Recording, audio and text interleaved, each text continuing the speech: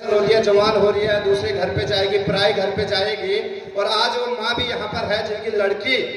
और मैं कह सकता हूँ कि हर कामयाब इंसान के पीछे एक औरत का हाथ होता है। वो उसकी सिस्टर भी हो सकती, माँ भी हो सकती वाइफ भी हो सकती है। और मैं गारंटी देता हूँ कि इन दोनों शख्स के पीछे इस लड़की का हाथ ज़रूर है। क्योंकि मैं पिछले दो साल से देख रहा हूँ तो इनकी माँ कैसे फील कर रही है, एक बार आंटी जी से पूछते हैं। खुशी लग रहा है कि हमारे बच्चे सब अच्छा कर रहे हैं। क्या बात है आगे आप आशीर्वाद हम सबको आशीर्वाद दे रहे हैं।